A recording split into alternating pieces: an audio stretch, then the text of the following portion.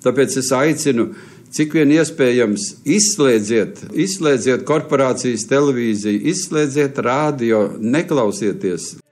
Esiet sveicināti, cienītie radio Merkūras klausītāji un klausītājs, kā katru otrdienas vakaru atkal klāt otrdienu kārtējā. Un šodien, tā teikt, otrā otrdiena, kad uh, laiks ir mūsu viesim uh, Valdim Steinam uzstāties, un šodien man arī uh, radio Merkūrā būs, ir jau Aldis Steins. Sveiks, Valdi! Labvakar. Labvakar un labrīt, cienījamie un godājumie un viedie radio Merkūras klausītāji. Labvakar, Juri! Labvakar! Un tā tad um, šodien Valdis ir atkal man iedevis programmu, ko šodien kāds jautājums valdes grib apskatīt, darīt zināms mūsu klausītājiem. Un tā tad ievadaļā būs, protams, laikritis, sākusies vasara. Dienas gaisma jau apmēram 16 stundas un 37 minūtes pie mums Latvijā ir vidēji. Protams, tur augstgalā alūksne mazliet vairāk, dienvidu pusē mazliet mazāk, bet nu, tā nu ir. Ūsiņa svēte jau desmit dienas kā aiz muguras. Nākošā svēte - vasaras vidus, Jāņa diena. Angļi saka Midsummer Day, saules stāvji. 21. jūnijas, 6.31, 6.32 no rīta. Precīzi tā atskaita ir. Tagad atceras dienām, atceras dienas un nedēļas. 8, 9 maija un 10 maija PSRS atgriešanās diena Gulagā un lauku Gulagā jeb kolhozā. Politiskais augsts būs dievkociņš, Latvijas administrācijas balto vergu tirdzniecība un maksa par vergiem. Tātad pirmā daļa - ziņas no hibrīdā kara frontes, karš pret cilvēci. Pēc 30 gadiem lielākā tautas manifestācija Viļņā, tas ir Lietuvā, Lietuvas galvaspilsēta, bijusī Polijas teritorija. E, viro pandēmijas un gēnterapijas ziņas. Nākošais ir psihopandēmijas ziņas, tālāk sociālās pandēmijas ziņas, ekonomiskās pandēmijas ziņas un digitālās pandēmijas ziņas. Tas ir pirmajā daļā. Otrajā daļā būs tēmas. Tēmas šodien būs teroristu, komunistu, ja bolševiku valstiskie veidojumi Latvijā no sērijas Latvijas, ze, Latvijas zeme vaļā stāv. Otrais punkts būs kultūra karš starp kosmopolitisko, jeb tautisko un tautisko, jeb nacionālo kultūru, ASV un PSRS. Aškenazi radītais amerikānisms, jeb holivudisms pret Edisona kino trastu ASV. Sovietisms pret tautismu, jeb nacionālismu PSRS. Valsts drošības komitejas radītais jevreju padomi kino čekistu sauktais liberālais kino pret Ģeržavņiku. Tas ir pašnosaukums kino. PSRS tēma no sērijas Jūdeismu daudzveidība un Pasaules Republiku Savienība. Trešais - ivrita sarunu valoda no sērijas jūdeismu daudzveidība. Ceturtais - justicionālais jūdeisms, likuma diktatūra no sērijas jūdeismu daudzveidība. Piektais - izgoja par banksteru naudu sagrābi varu un izlaupa Rosiju un Latviju, tā skaitā ONG, tas organizētā noziedzīga grupējuma top par OPG no sērijas Pasaules Republiku Savienība. Sastais Luksemburgas institūts no sērijas slepenās valsts, tas ir Deep State, angļu valodā pārņem varu pasaulē. Septītais punkts - valsts drošības komiteja Čeka spēlē roku no sērijas jūdeismu daudzveidība. Un astotais - reliģiskā jūdeisma, jūdio kristietības uzvara par Latviju dievturību, Latviju dzīvesveidu.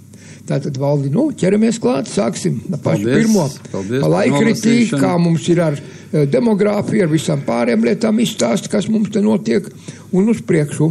Jā, uh, labvakar vēlreiz. Tātad, un uh, sākumā es gribēju pateikt, nodiktēt, varbūt tās es pēc tam vēlreiz nodiktēšu, ja kādam nav pildspalva vai zīmols pie rokas kaut kur tūmā. M- mums būtu ļoti derīgi, man vismaz uh, strādājot pie šīm tēmām, uh, uzzināt, ko jūs vēlaties dzirdēt, ko jūs klausītāji vēlaties, kādi jums būtu jautājumi vai ko vajadzētu paskaidrot. Teiksim, man tas jautājumu lokus ir ļoti plašs, un es centīšos pēc iespējas, kur vien, cik vien iespējams atbildēt. Un tāpēc es atvēru jaunu speciālu uh, e-pastu, e-pasta adresi, ja, un viņš saucās Radio Merkurs 2021 at gmail.com, jeb .com, ja, angliski dot ir punkts. Tātad vēlreiz, Radio Merkurs ar S beigās, viens vārds kopā, bez atstarpes, tālāk 2-0-2-1 šogad. Radio Merkurs es nevarēju atvērt, tas laikam ir uh, Jurim vai kādam citam, es nezinu, es pieliku klāt to šī gada, uh, šo gadu, to 2021. Tā kā Radio Merkurs jau bija aizņemts, diemžēl. Un tātad šīs ir uh, gmail punkts, ja, com, latviski izlasot.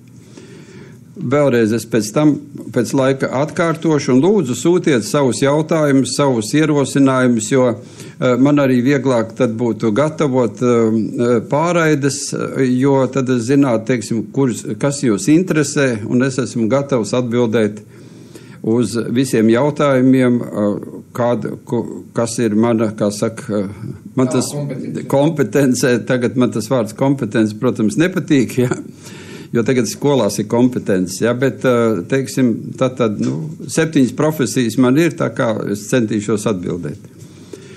Tā valdi, kā, valdi, pagaidi, tas ir parastais e-pasts. Parastais e-pasts. Jā, jauna e-pasta adrese, uz kuru mūsu klausītāji var sūtīt visus savus vēlējumus Valdim Steinam uh, par radio Merkūras pārraidēm. Jautājumus. Jā. Uh, Kritiku. kritiku, protams, arī un, un visu, ko sirds vēlas. Es neesmu slims pret kritiku, tā kā sūtiet arī kritiskus, kritiskas piezīmes. Uh, un, un tas vienkārši palīdz, kā saka, mēģina saprast to situāciju, uh, kas ir um, valda, kā saka, arī klausītāju galvās un domās un, un, un darbos, ko jūs darīsiet. Tas mums ļoti palīdzēs. Un arī jums varbūt tās tad būs interesantāk. Tā pirmais laikritis, ja, tā tad šodien gan tāda milzu lietus diena, tādas lietavas, ja, bet tā kā es vakardien iestādīju, mēs te kopīgi tur stādījām apiņus un ozolus, tā kā es esmu ļoti priecīgs, ka šodien ir tāda lietaina diena. Labāk ieaugs. Labāk ieaugsies, jā. Jo diezgan tālu būtu jānes ūdens, tas nav pie mājas, tas ir nedaudz tālāk. Un, e, tā kā dienas gaisma ir, jau ir, tātad jau, kā Juris te teica, tātad jau vairāk kā 16 stundas, tātad laika, laika ir daudz pa dienu, daudz vairāk var daudz ko padarīt. Un mums bija e, ļoti, skaistis, e, ļoti skaista svēte, tā bija ūsiņa diena, kuru mēs plaši atzīmējām, ļoti skaisti, jautri bija, jauki bija, daudz cilvēki un bija ar dziesmām un dejām un, un, un visas ūsiņa rituālu, protams, sākoties, un, protams, arī ar ūsiņa mielastu. Tā kā vasara ir sākusies un, un, un tā kā viss notiekās, un tagad viss ir mūsu rokās. Nākošā svēta tā tad ir uh, Midsummer Day, ja, vidus uh, dieva noliktā saulstāvji, un neviena partija, neviena valdība, nekas pasaulē tos nevar izgrozīt un pārgrozīt. Tātad 21. jūnijas. 6.31, 6. dažās vietās es atradu 6.32. Eh, nevajag eh, aizmirst to, ka eh, astronomi aprēķina dažādi. Vieni rēķina tā, ka um, Saules disks parādās, otri rēķina Saules diska centru, trešie rēķina, ka viss Saules disks ir virs apvāršņa. Pra, pamatā es tā skatījos nedaudz vairāk kā 5 minūtes Saules disks šajā laikā nāk ārā un arī pie norietēšanas. Tā kā, tāpēc tas mazliet dažas minūtes. Um, ir tā atšķirība.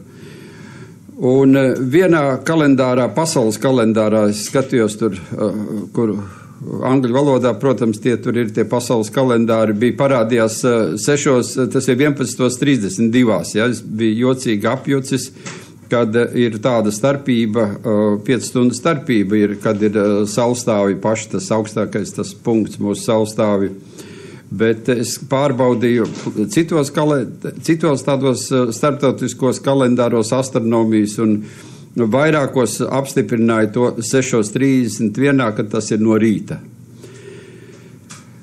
Nezinu, kā tas viņiem bija sanācis, tas aprēķins tiem, tai vienai komandai. Tā kā mums nav tāda astronomijas centra, un mums nav tas, jo tas ir tāds aizliegtais auglis, jo jāsvin ir uh, Baptista, uh, Joāna Baptista dzimšanas un nogalināšanas diena, teiksim, viņa galvu nocir 24. jūnijā, ja. Tā kā tas ir tāda pusaizliegtie Jāņi mums ir, un tagad šogad uh, vispār mums gatavo aizliegtie Jāņi būs kā Arvīda Janoviča Pelšas laikā, kurš aizliedza Jāņus, bet mēs ļoti labi atceros toreiz tik un tā lēcām par ugunskuru. Un tā kā šogad būs arī aizliegtie Jāņi un, un atļaus varbūt pa desmit lēkt kopā, ja? ap ugunskuru.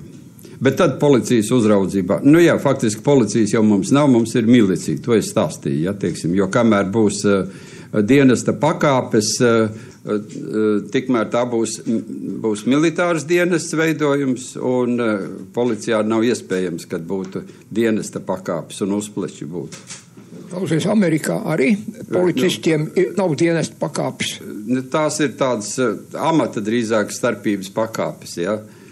Un viņu, kā saka, šerifa dienesti, ja, nu, tagad tur šerifiem palīgi ir un tādi, un tad viņš izvēlēja savā starpā, paši cilvēki izvēlēja, kurš būs šerifs, un nākošā gadā cits bija šerifs, un tāpēc, ka paši uzturēja kārtību, paši uzturēja kādreiz kārtību.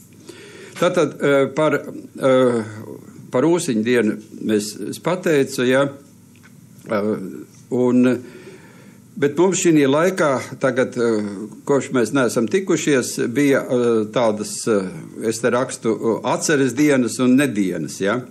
Par 8. maiju un 9. maiju te dažādas tagad, kādas tik teiksim, kā lai to saka, konspirācijas teorijas tiek radītas, ja? Pat, bet faktiski tā bija vienkārši tāda Eh, datuma maiņas diena, tur jau bija 9. Eh, Rosijā bija de, PSRS toreiz bija 9. maijs, tas eh, pusnaktī, kad viņi parakstīja tos dokumentus. Un tur nav ko meklēt dziļākas, tur un rakties, tur meklēt dziļākas kabalistiskas saites, to tur ar 9. Kā saka, ciparu 9 un, un tam līdzīgi to nevajadz, nevajadzētu darīt. Tas bija vienkārši tāds, viņiem tā sanāca, kad viņi parakstīja to līgumu. Bet es gribēju vērst uzmanību uz 10. maiju. 10. maiju neviens vēl nav izsludinājis, bet tas ir eh, tādā apritē, kā saka, savstarpējā apritē, un tā ir tā saucamā skumju diena. Um, PSRS, es domāju, tagadējā Rosija, Rosijas federācijā.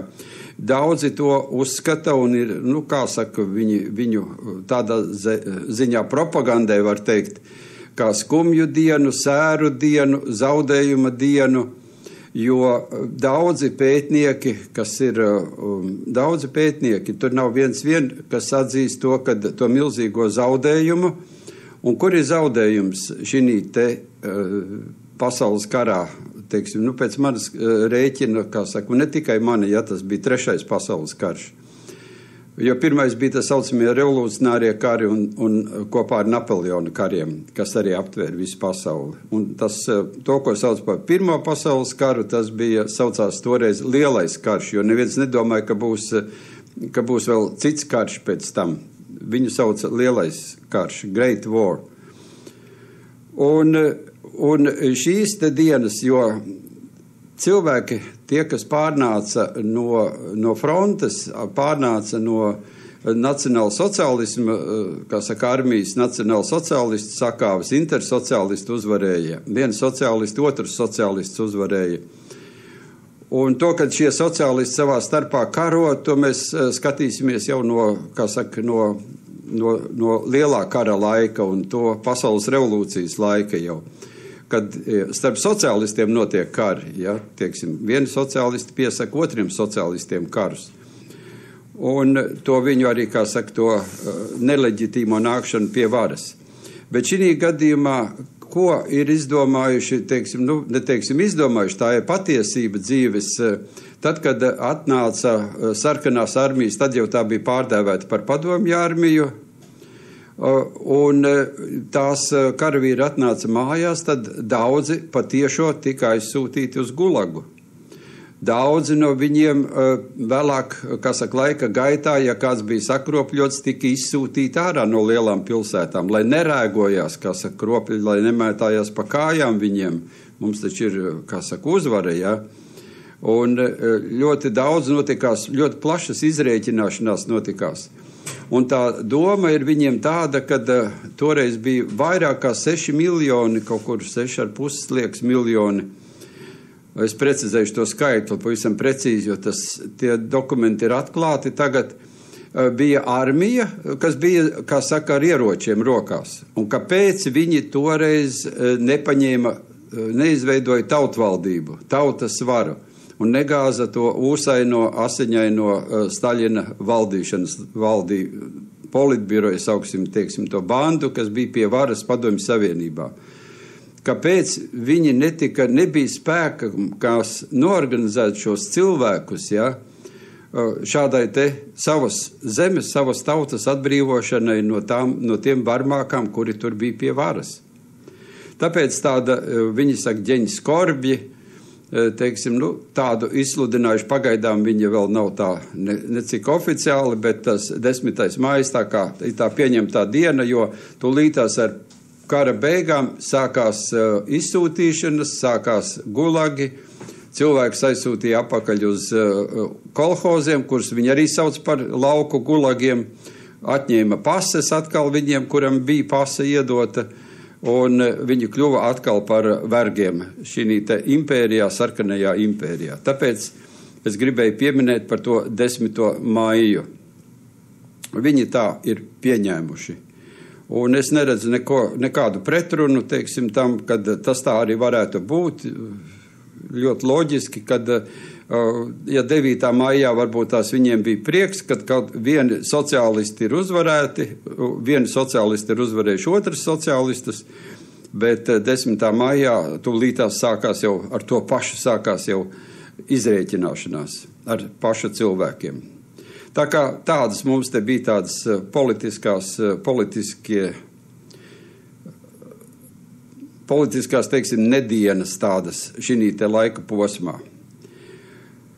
Nākošais, es gribēju pāriet pie politiskā auga. Pagājušajā reizē mums nesanāca laika, un tas ir dievkociņš. Un dievkociņš nepavelti saucās dieva kociņš, ja, vai dieva koks. Eh, viņam ir eh, izskats, ir tātad dievkociņš ir līdzība ar tādu vērmeli lielu, tātad viņš ir pusotru metru apmēram augumā, tāds varbūt tās pat, eh, pat augstāks, varbūt vībotņu ģins.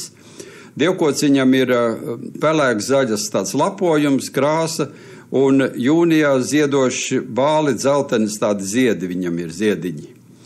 Un viņš ir vasaras zaļais krūms un ātri augošs. Un tas var izaugt nu, teiksim, nu, līdz pusotru, varbūt pat divu metru augumam. Turklāt um, viņš ir, es tālāk nolasīšu, kad viņa speciāli pie viņa šoreiz pakavēšos ilgāk kā varbūt pie citiem, jo kā pie dieva koka, jo viņam ir ļoti liela simboliska un maģiska nozīme.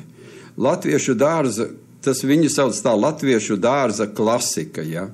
Viens no latviskajiem simboliem, dārza simboliem. Un dievkociņš ir jāaudzē apus ieejas durvīm. Ja nevariet apus, tad vismaz vienā pusē ieejas durvīm. Viņš ātri jums izaugs, un viņš ir uh, patīkami smaržo, un viņš ir mājas sargs.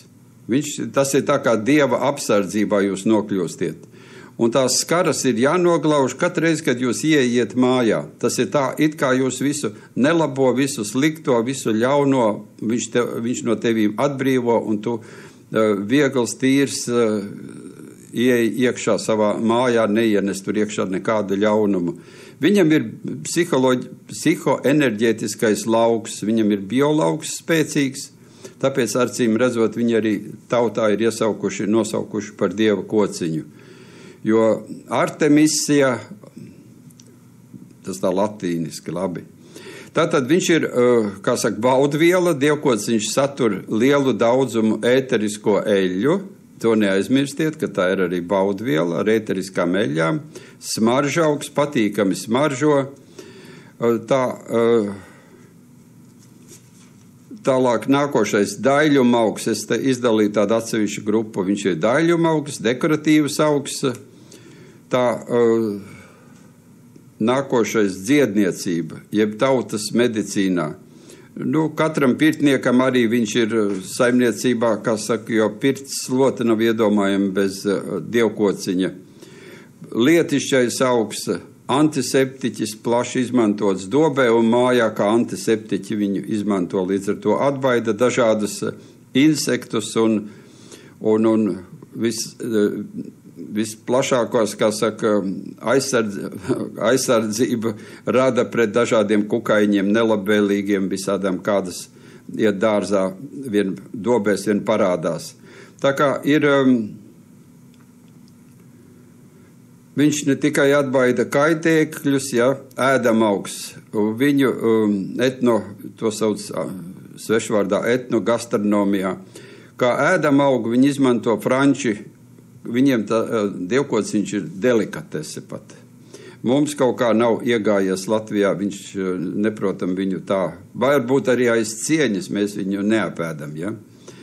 Tā kā labās īpašības parfemērijā viņi izmanto un tātad arī ziepju ražošanā, jo viņš ir ļoti smaržīgs un arī tātad viņš ir plaši, plaši izmantojams. Un tās manas slavas dziesma dievkociņam Un es atceros, kad mums bija uh, viena uh, politiska konference, un viens uh, Latviju vīrs bija atnesis, un visiem konferences dalībniekiem toreiz izdalīja pa dievkociņa stādam, lai būtu katrs sev mājās aizejot iestādītu. Tā kā tā arī es tiku pie dievkociņa, un uh, gods viņam un slava viņam, un, uh, un viņš to dāvināja kā tādu latviskuma simbolu, lai katrs uh, patriots tādu savā dārzā turētu, ceļš pie mājas. Tas man būtu par tādu slavas dziesmu mūsu dievkociņam. Nākošais iesim tālāk, plāna punktu ir daudz. Tātad Latvijas administrācijas um, balto vergu tirzniecība. Jā. Man sakot, es redzu kuģīti, pa upīti peldam. Un mēs ar Steinu valdes, šeit rādījām ar kūs ēterā, Un tagad runāsim par balto vergu tirzniecību Valdijā. Ja sāksim par balto vergu tirzniecību, es gribēju teikt tagad dziesmu, ko klausījāmies Bonijam. Tas ietilpst arī man šodien dienas kārtībā. Tāds plāna punkts bija valsts drošības komiteja spēlē roku. Ja? Nu, īsti tā ir jau disko, ja muzika, un tad valsts drošības komitejas lēmums bija Tas bija pateicoties, jāsaka, pateicoties, jā, tādā ziņā. Uh, Vandropovam, un kad viņi sāka nolēma, kad jālaiž iekšā ir, un Boniem bija ļoti labi atceros, kad Boniem uzstājās padomju savienībā, un tas taču bija tāds notikums, un, un, un, man liekas, ka viņi Ļeņingradā uzstājās arī, dzen.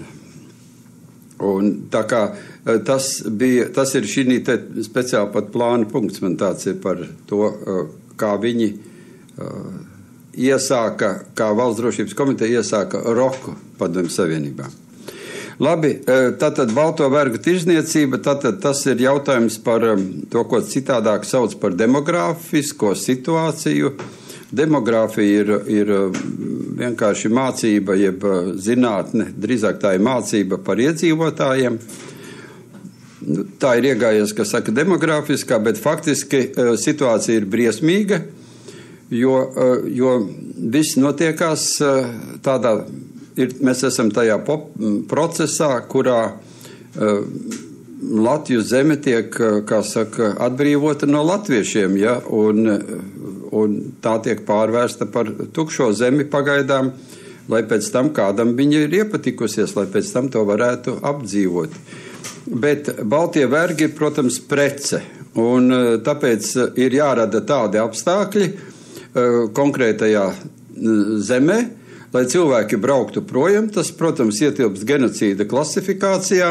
Ja mēs skatāmies, kas ir genocīds, tad tur ir arī šī pazīme, kad uh, mērķiecīga apstākļa radīšana, kas rada, kad, uh, rada tādu situāciju, ka cilvēki vairs tādā konkrētajā zemē nevar dzīvot. Tas ir klāt, tas ir genocīds arī. Un tādi apstākļi tiek radīti, un tas, kas te notiekās, tas hibrīdais karš, tas saucamā pandēmija, skatīsimies tālāk, bet faktiski tiek radīta situācija, lai brauktu projām cilvēki. It sevišķi jaunieši, it sevišķi jaunieši. Jo viņiem vajadzīgi ir šie baltie vergi. Baltie vergi, viņi ir centīgāki, strādīgāki, ja?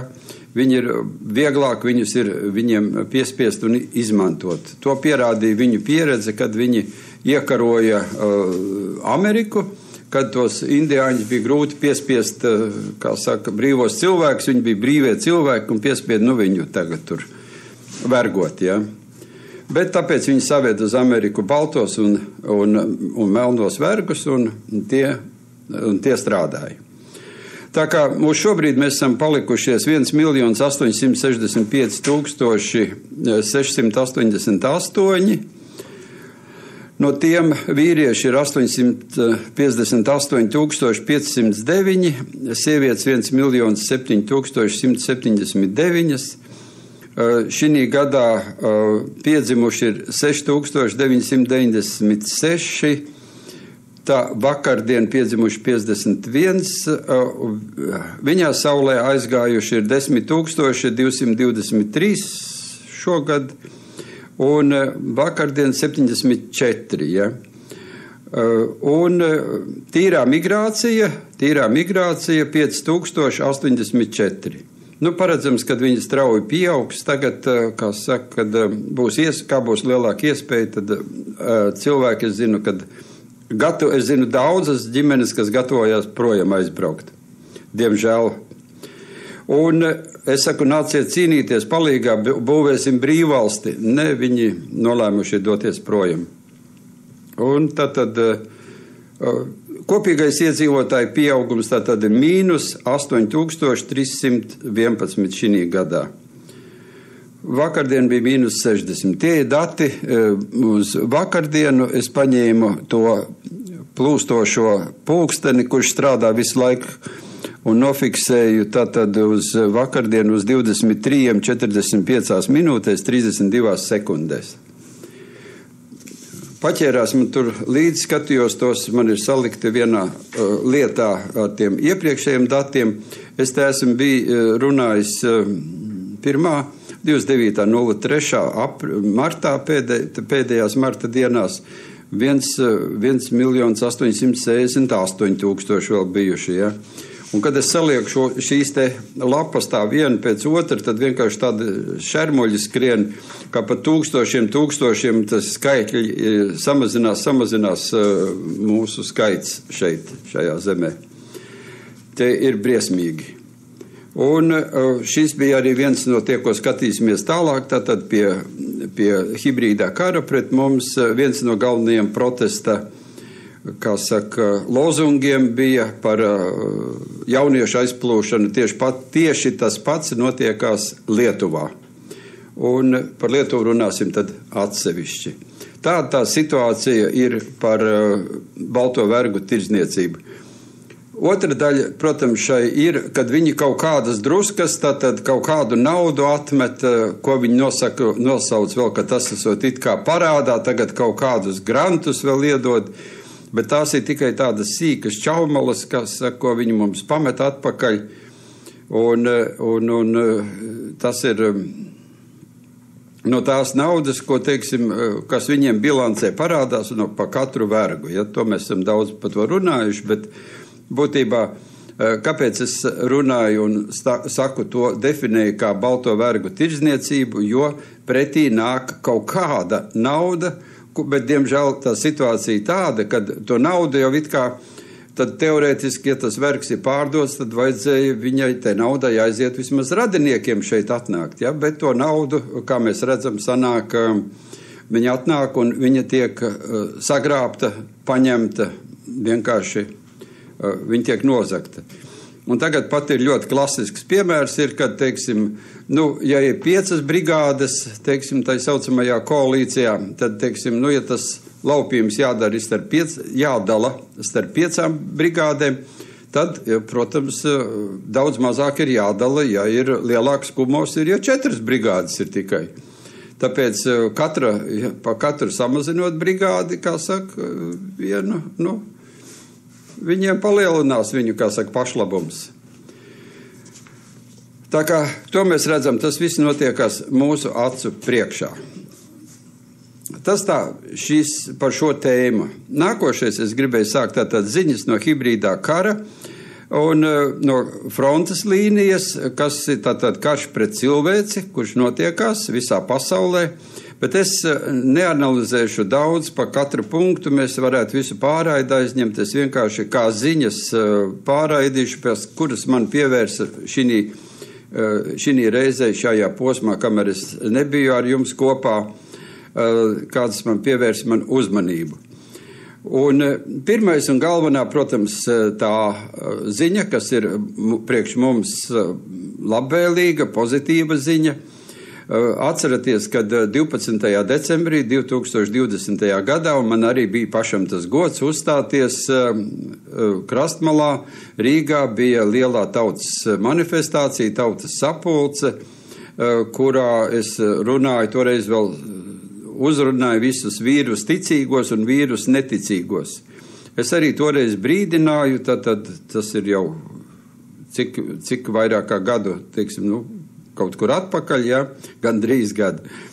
Uh, un, uh, un tad, par šo te, uh, kas, kas notiksies ar mums, un kad brīdināja arī toreiz par sātanistu militāro operāciju ar nosaukumu pandēmija.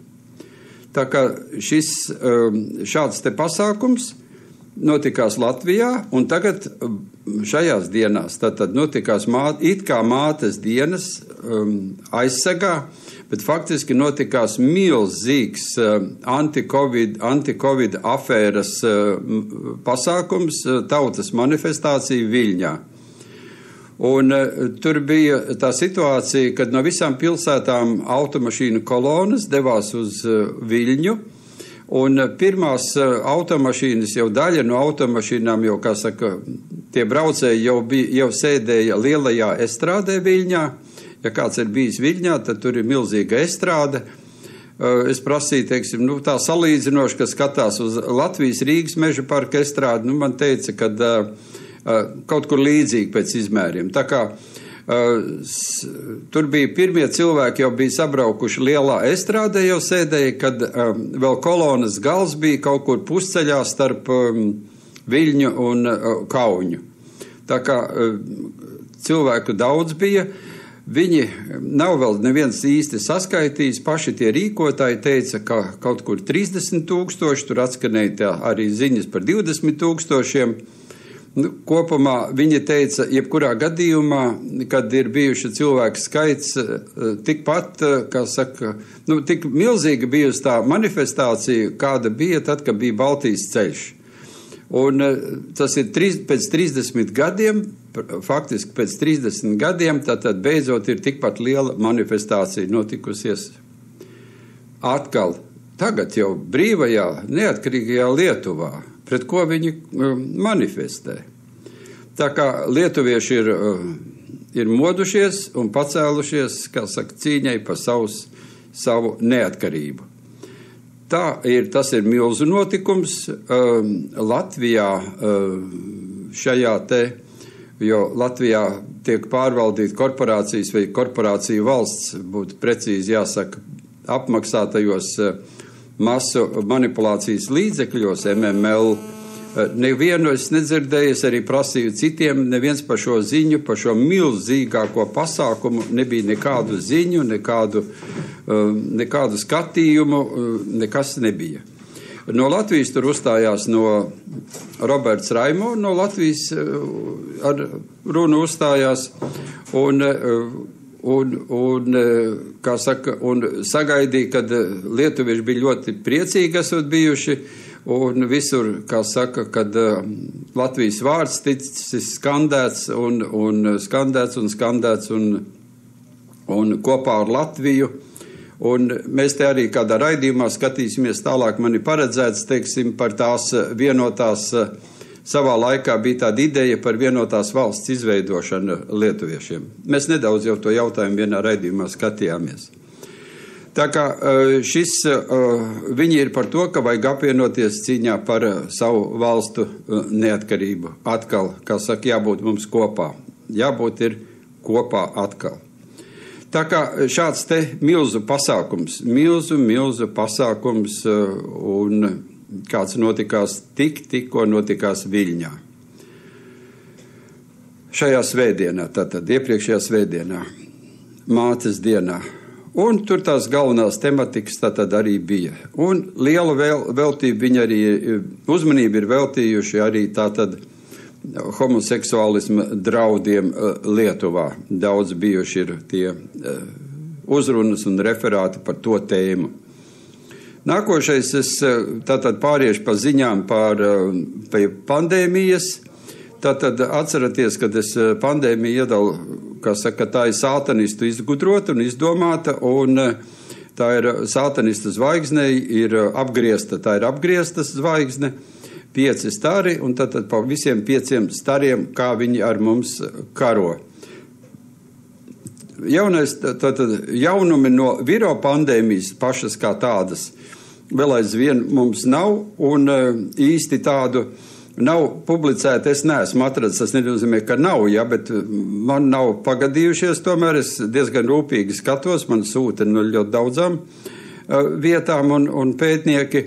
Uh, kad būtu atklāts kaut kas jauns par, par uh, vīrusu pandēmijas jautājumā, par šo pašu vīrusu, ja, ko sauc par kroņu vīrusu, par jauniem pētījumiem, uh, Tā kā Latvijā viņus nepēta, jo Latvijā ir tikai modelis, viņi pēta, skatās tikai modelis un modeli modelē.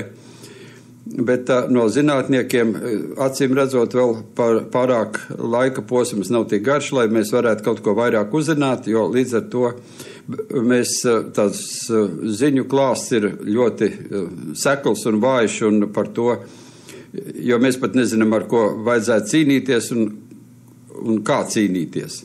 Bet kas parādās uh, zinātniskajā literatūrā, ko es atradu, un, un uh, tas ir par um, antikovida teiksim, vakcinēšanu, jeb iešļircināšanu. Kad tā faktiski nav antikovida, tas nav domāts pret covidu, bet tā ir gēnu terapija. Nu, gēnu terapija, gēnu inženierija, jo uh, faktiski jūs saņemiet savā organismā gēnus. Jūs tiekat ģenētiski modificēts. Un es tagad nepārskatīšu tādu pārskatu, varbūt tas eh, vēlāk veikšu eh, tā, par šiem pētījumiem. Tātad eh, cilvēks tiek ģenētiski modificēts, jūs saņemiet jaunus gēnus, un tas arī ir tas galvenais švakcinēšanas mērķis. Un es pieņemu to Aiva Vasiljevska, mūsu drosmīgā pētnieka, kā saka, ļoti labs mūsu fantastisks pētnieks ir Aivis Vasiljevskis. Un viņš ievies to terminu švakcinēšana, un, un, jo tu paliec, nu tā it kā ģermānisms, nu švaks tu paliec, jā. Ja? Bet, bet tas ir pareizi. Tomēr tādā ziņā, ka cilvēks tiek švakcinēts, viņš paliek švakāks. Ja? Tā kā e, faktiski e, šī te tā saucamā gēnu, e, tas ir vakcinēšana, ir, ir gēnu terapija. Nu, terapija ir it kā tā tad ir, saprotiet, ko nozīmē terapija. Ja? Tā kā parādās aizvien vairāk šādas te publikācijas, es vēršu jūsu uzmanību, pievēršiet tām, analizējiet, skatiet tās, un tad, tad arī to, kas saistās ar eigēniku, ar visu, kas saistās ar gēnu inženieriju. Tad uh, ārkārtīgi eh, tādi skaudri uh, raksti ir par bērnu švakcinēšanu un ka tas ir noziegums pret cilvēci.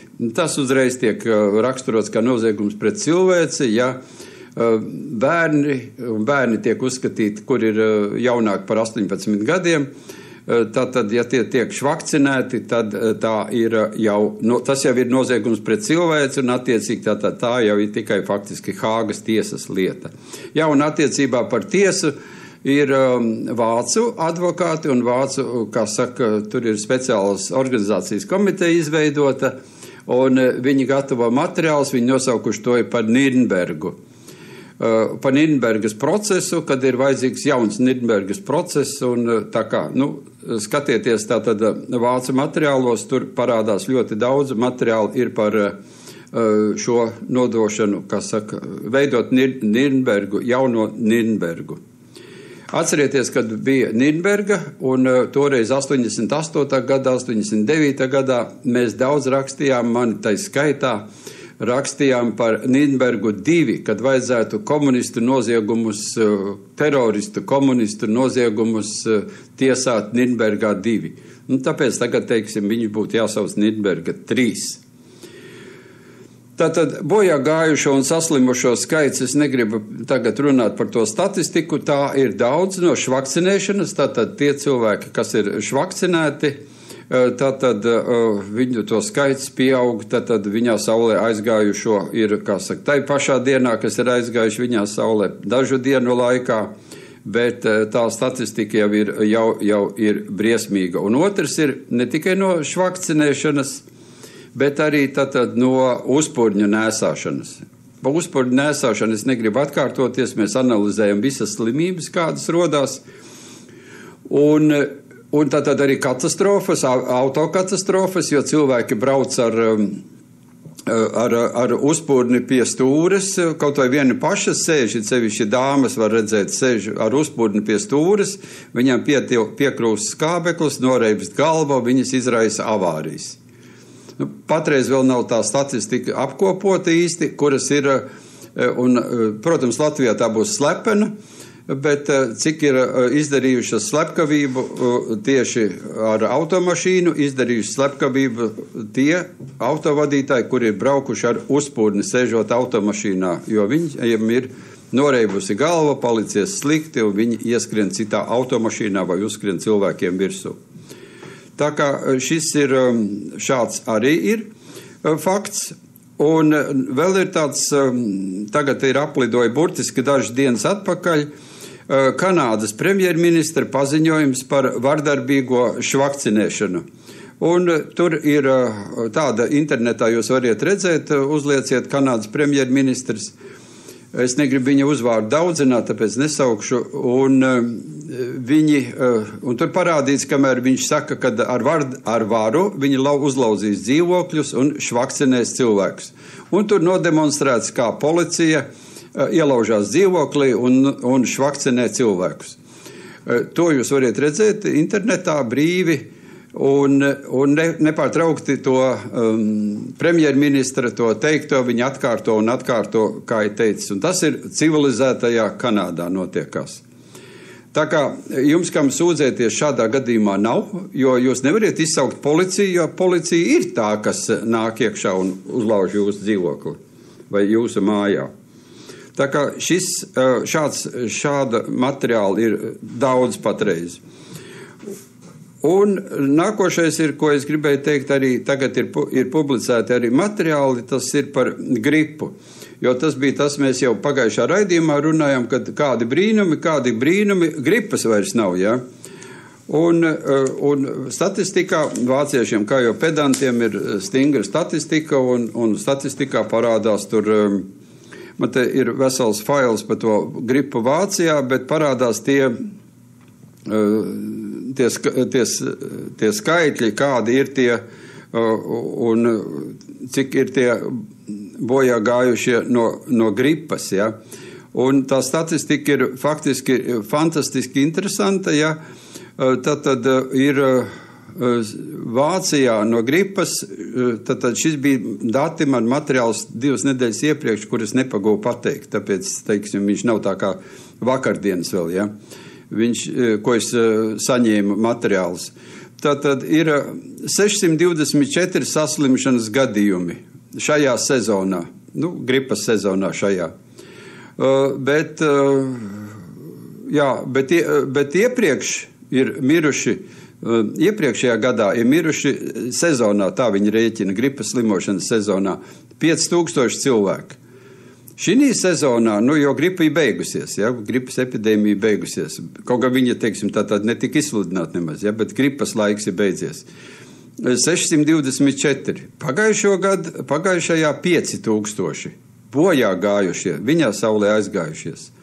Un uh, viņi saka, ka uh, datos ir, ka dažos gados iepriekš Vācijā te ir, um, uh, ir pat 20 tūkstoši aizgājuši viņā saulē no gripas. 20 tūkstoši. Šogad, šī sezonā tikai 624 saslimuši, un no gripas neviens nav nomiris. Fantastika, vai ne? Tātad man ir dati par 2019. gadā 191 tūkstots gripos bija saslimušie, 191 tūkstotis. 2017. gadā bija 337 tūkstoši gripu saslimušie. Šogad, nevi, šogad 624. Kur, kur? Kas Valdi, ir noticis pasaulē? Valdi, varbūt agrāk vienkārši to gripu sauca par gripu, tagad sauc par covid. Nu, kāda starpība? Jā, nu, tur jau ir tā lieta. Jā. Jā, man, to jau viņi arī saka vācieši. Man ne silts, ne augsts, ne no gripas, ne no covid.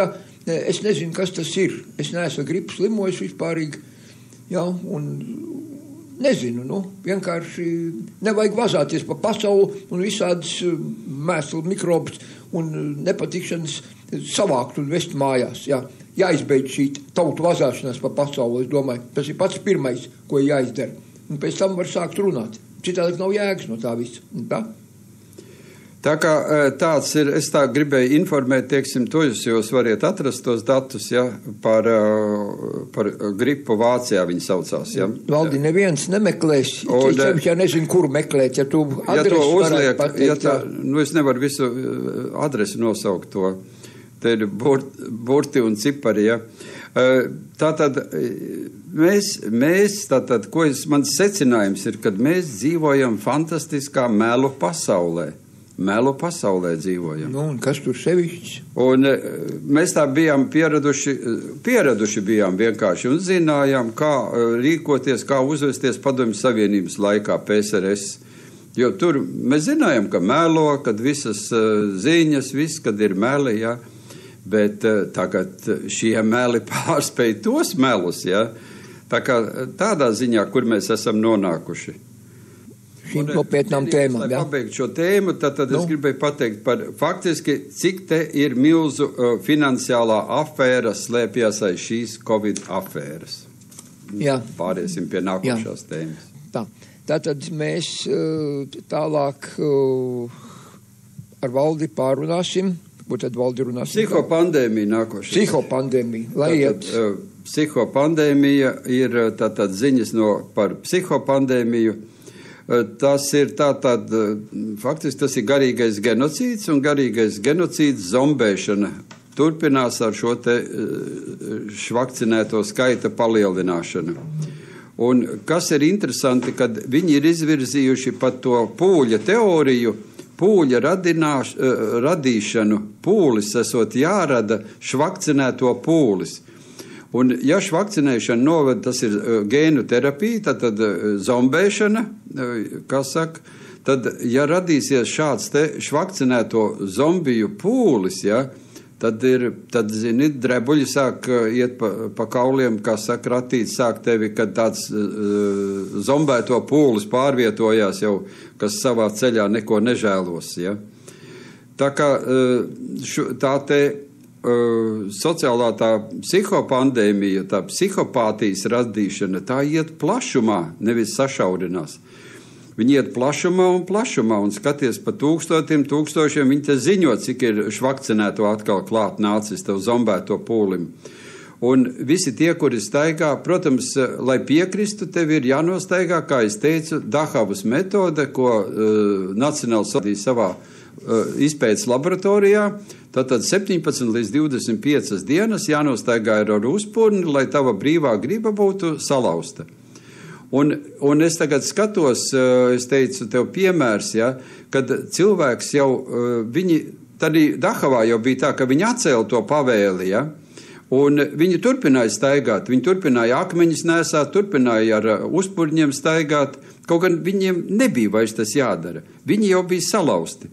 Un tagad skaties cilvēki, kas jau ir zombēti, ja, tad, tad viņi jau ir izgājuši šo, šo periodu jau cauri, Un viņi brauc automašīnā vieni paši, viņam ir virsū uzpūrnis, Viņa savam mazam bērniņam, trīs gadi, četri gadi noskatījos, nu maziņš knauķītis, ja, uzmaukts virsū, uzpurnis, sēž automašīnā, iespundēts tur ar to siksnu, ja. Izkāp ārā tur pie lielveikala, skatos nabadzīgs, tagad viņš tiek pārlikts uz ratiem un, un, un tik un tā, tad uzpurnī tas mazais bērniņš. Tas nozīmē, tas jau ir sekas, tās ir sekas.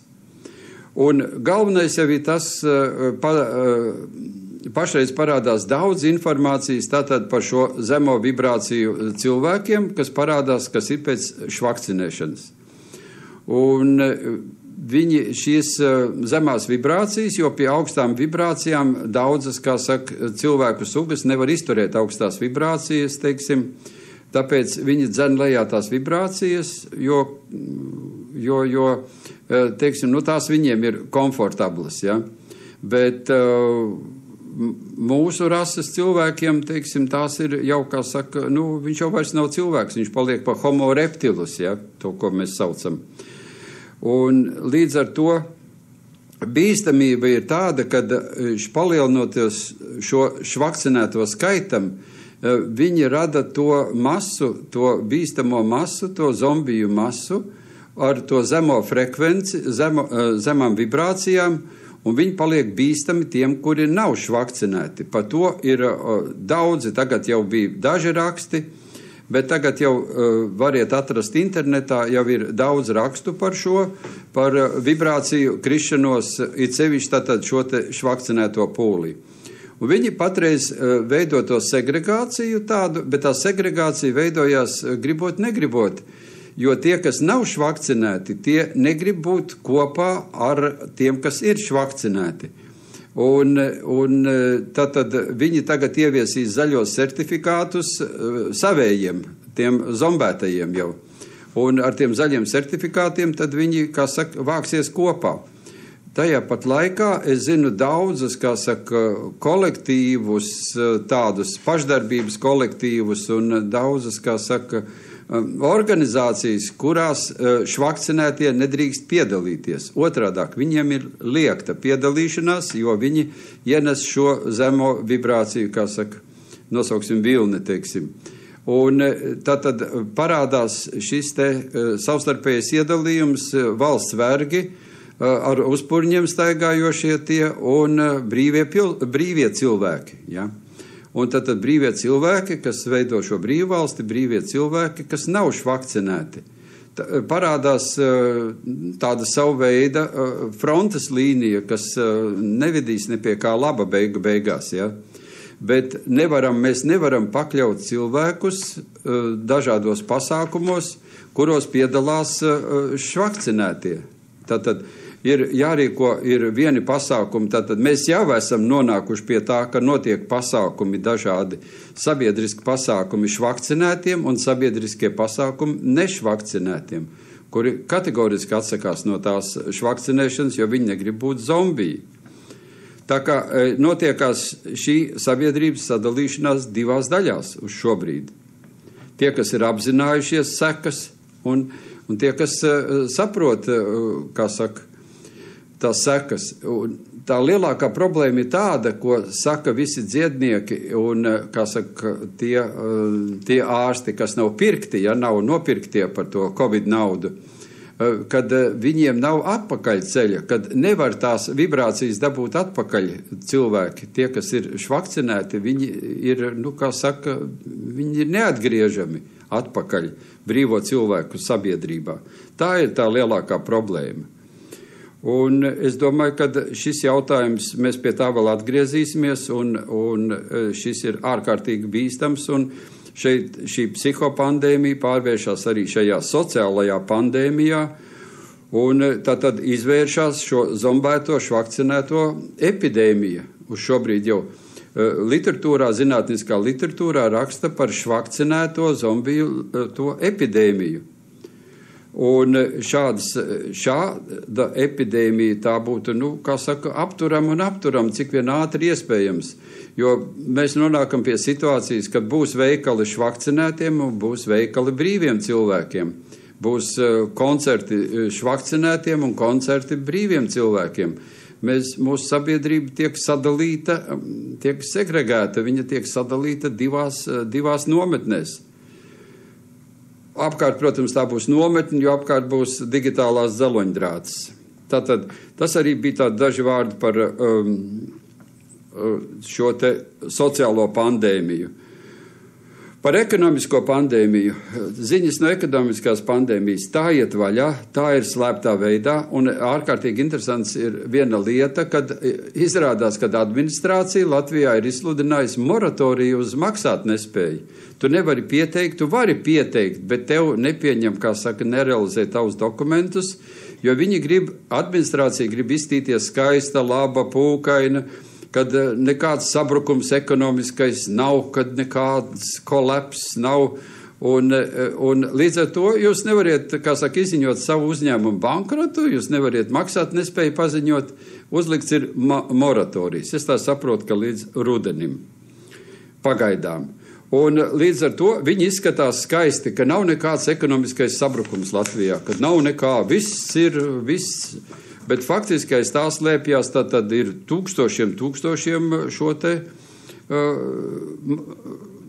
faktiski maksāt nespējas paziņojumu, tad, tad likvidēt to faktiski dzīvē neeksistējošu vai nestrādājošu uzņēmumu. Un uh, vēl ko es gribēju teikt pie tā, ka administrācija šobrīd pārdala tā saucamo dāvinājuma naudu. Tā, protams, nav dāvinājuma naudas, kā es teicu, tā, tā, tā ir samaksa par baltiem vergiem. Un notiek, uh, to es ieviesu, to jauno terminu, kas nāk no ruskiju valodas, raspil, ja? Viņi saņem to naudu, un tad, tad viņi uh, sadala viņu, tā kā es teicu, piecās daļās bija sadalījuši. Nu, tagad viņi grib vienu daļu, uh, vienu likvidēt brigādi, un tāpēc, lai būtu četrās. Iedomājieties uzreiz, kā palielinās uh, Tas ir eh, simtiem miljonu palielinās uzreiz eh, kādai visām tām četrām palikušām OPG, organizēto politisko grupējumu brigādēm. Tā kā šis process mēs visi to redzam, un tas viss tiek paslie, pasniegts mums kā kņada ap valdību un valdības sastādīšanu. Ja? Tā viss ir maskarāde, faktiski notiekās tāds um, cirks notiekās. Eh, aiz kuras liepjas vienkārši finansiālā pārdale. Tāds ir manas domas. Tad nabadzīgošana un izsmiekla pabalsti. Nu, kaut kādus pabalstus atmet, un tagad jau labu laiku viņi brīdina. Pabalsti nebūs, pabalsti samazināsies, pabalstu nebūs. Ja? Kā saprotiet, vai ne, kad eh, jums būs jākārtā ubaga, tur, ubaga tarba kaklā un pabalsti nebūs. Bet faktiski, eh, kā jau es esmu te teicis iepriekš, tad, tad eh, visa šī mazo un vidējo uzņēmumu likvidēšana, ko viņi dara, veids ne tikai Latvijā tas notiekās eh, pasaulē. Tās ir, kā saka, transkontinentālos, lai, teiksim, tās korporācijas pārņemtu šīs te nozares, bet šie cilvēku, cilvēkus visus viņi grib kontrolēt un regulēt. Un ja viņš ir uzņēmums, ja viņam ir ģimenes uzņēmums, tad viņš ir uh, patstāvīgs un pastāvīgs, un viņš ir domājošs, vai ne? Jo Rokefellers teica, jums nav jādomā, mēs domāsim jūsu vietā. Un uh, līdz ar to viņiem ir jārada, cilvēks jāpārveido tā kā viņi saka par pūli, par švakcinētu pūli, kuru viņu regulēs, vadīs. Bet ja viņam pieder savs veikals vai sava darbnīca vai kaut kas savs, ja, tad viņš ir neatkarīgs cilvēks, viņš ir domājošs cilvēks. Viņam, viņš taču domā par savu uh, mazā uzņēmuma attīstību. Ja? Un uh, vecā bolševiku tāda, lai administrācija tādu metodi, es gribēju pie, pieminēt tādu, viņi dēvē sevi par uh, valdību. Ja? Un izskatu, izskatītos labi un slavējami, viņi grib izskatīties. Tāpēc viņi ievieš, kā saka, rada tādu, nu, uh, ah, nu, mēs šeit kļūdījāmies, un tagad mums vienkārši mēs pārkārtosimies, un mēs atkal turpināsim tālāk strādāt to. Un faktiski man uh, izskatās, ka tā viņu valdīšana, viņu tā ekonomiskā pārvaldīšana ir, kā bija padomju laikos, kāpēc saka vecā bolševiku metode, uh, kad uh, fermā jau puslopa bija nosprāguši, otra puse govis bija uh, iesietas triķos, lai stāvētu kājās, Un, bet viņi turpina paziņot, ka ir um, piena izslaukuma pieaugums, gaļas masas pieaugums ir fermā. Nu, apmēram tā man uz šobrīd izskatās tā ekonomiskās situācijas raksturojums Latvijā un kā viņi to pasniedz uh, pasaulē, cik viņi ir labi. Tā uh, nākošais, tā tā digitālā pandēmija. Tā tad no digitālās pandēmijas, protams, to jūs redziet un dzirdiet uz katru soļu, katra brīdi, kā saka, digitālās iemaņas, digitālās prasmes, kādas tikai nav. Bet uh, faktiski es viņus nosaucu sirdsapziņas tirgotāji. Uh, tas ir korporācijas, tādi pseido žurnālisti, kas sevi sauc vēl nezinu, kāpēc par žurnālistiem, kas savu sirdsapziņu ir notirgojuši Un tik skandina un tik propagandē šitas propagandas, tātad informācijas troksnis no viņiem nāk tāds, kad uh, nenāc pa tuvu.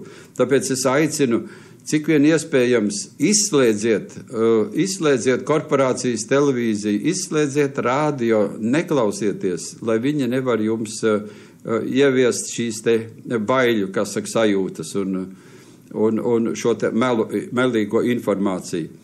Tātad tāds, es viņu saku, tāds saudabīgs melu karuselis. Kaut kādas pseidostatistikas ziņas izziņo uh, par nēsošu, kā saka, kādu nēsošu vīrusu vai par kādu nēsošo, teiksim, kāpēc uh, tur cilvēki aizgājuši viņā saulē melu informāciju. Un tad tas karusels ir tāds, ka nākošais paķer, nākošais, un tad atkal atskaņo, un tas atskaņo, un atskaņo, un tāds melu karuselis griežās. Tā izstāsta tāds melu karuselis. Un eh, es apstījos, ka ir tā, eh, tā statistika publicēta, ka patiesības ministrija eh, kā ir sadalījusi naudu. Es te nesaukšu tos miljonus un tos tur arī pa desmit un simt, desmitiem un simtiem tūkstošu, kā patiesības ministrija pērk arī privātos raidītājus dažādus. Vienkārši uzpērk viņus iebaro, kā saka, ar kombikormu, ja? Un, lai šo lai vienkārši viņi atražotu to Covid šovu. Tāda ir tā e, situācija no tā hibrīdā kara. Otrā daļa es gribēju pāriet tātad nākošais pie uh, tēmām, un uh, tātad pēc iespējas vairāk iziet cauri, pastīties uz mūsu tēmām, ko es te esmu lieku jums priekšā. Tātad pāriesim pie tēmām, un pirmais bija uh, teroristu, komunistu jeb bolševiku valstiskie veidojumi Latvijā. No sērijas Latvijas zeme vaļā stāv. Mēs jau vairākas raidījumus skatījāmies jau tātad šo uh, sēriju, uh, šo manu rakstu sēriju par uh, Latvijas zeme vaļā stāv. Un atcerieties, es tikai atgādināšu, kad um, 18. gadā nodibinājās tātad Līvlandes, jeb Līflandes, divi nosaukumi viņai bija uh, hercogiste, nodibinājās Kūrlandes un Semigālija, bet viņi tad ķēzars Vilhelms pārdēvēja par Kūrlandi vienkārši Kūrlandes hercogiste. Tad šīs hercogistes 18. gadā apvienojās un izveidojās apvienotā Baltijas hercogiste 22. septembrī. Un, un tad viņa pastāvēja līdz 28. Eh, novembrim apvienotā tā eh, hercogiste. Tās bija, kā saka, no tās sērijas kā ķēzervalstis, un līdzīgas analogi nodibinājās kaimiņos Somijas karaliste, Lietuvas karaliste un citas. Ja. Eh, tātad paralēli darbojās otrs atzars, tātad šīs te Pasaules Republiku Savienības liela projekts, nosauksim tā viņu megaprojekts, es viņu saucu, ja. Uh, Tātad eh, sociālistu projekts un eh, pēc tā sociālistu projekta eh, Latvijā tajā pat laikā, teiksim, aptuveni šajos te mūsu neatkarības tapšanas gados, ja, mums tātad izveidojās divas bolševiku teroristu organizācijas. Un tā pirmā ir tātad izkolats, kas nozīmē izkolats bija Latvijas strādnieku karēvju un bezzemnieku deputātu padomes izpildu komitejas nu tāds, uh, tas ir saīsinājums, ja? izpildu komiteja viņi saucās. Izpalkoms. Uh, Viņi izkolat, Jā. saīsinājumā, izkolat, ja? Valdi, es jūtu, ka šī tēma būs ļoti gara un sarežģīta. Ja? Ne, gara nebūs, es ilgi tik būs, iepazīstināts. ne, pagaidi, vēlreiz eh, es uzlikšu tagad jauku mūzīku, kvīniešu, no tā paša 80. gada. Un tu vēlreiz pēc mūzikas lēnāk, mazliet pacenties visu vēl tā eh, īsumā salikt pa plauktiņiem, jo cilvēkiem es baidos, ka bija pa daudz, jo tā informācija, ar kuru mēs eh, tiekam baroti, tikām baroti un cik nu kuram ir saprašana. Īsti nav saprašana par to, kas tad cīnījās, kas te notikās. Rīga zēna atbrīvoja Latviju, ja, un tā tālāk, labi, Igaunieši tur palīdzēja eh, Zemitānam, Jorģim un tā tālāk. Bet, nu, to vēlreiz īt, to principiāli tā, lai cilvēkiem būtu saprašana, kuros datumos, kas notikās. Ja? Sākās faktiski 30. eh, janvāri viss tas. Ja? Ja. Nu, labi, mēs ar valdes tagad atpakaļ rādījām ar kursu eterā. Runājam tā tad, kā tur bija īsti. Saprots, tā versija, ka, ko mums pasniedz eh, par Latvijas dibināšanu, tā tad bija pirmais pasaules karš cilvēkiem, ir tā saprotams. Viņi netur pa kādiem izkolatiem, ne pa komunistiem, ne pa bolševikiem, ne pa ko. Krievi gribēja mūs šeit, eh, negribēja atteikties no Krievijas impērijas, ja. Ļeņins iedeva Ļeņins Latvijai notiprina. brīvību, ja Latvijai. Un, vārdu sakot, Ulmans 18. gadā pasludināja jauno Latviju, sākās brīvā Latvijā, ziedu laiki, un tā mēs nodzīvojam līdz 40 gadam, kad tie no austrumiem atnāca un savāca savus īpašumus atpakaļ. Ko es neizslēdzu, ka varbūt arī drīz nāksies izdarīt vēlreiz, atkārtot viņiem tādu gājienu. Bet, nu, redzēsim, kā tas viss iznāks, bet uz to iet.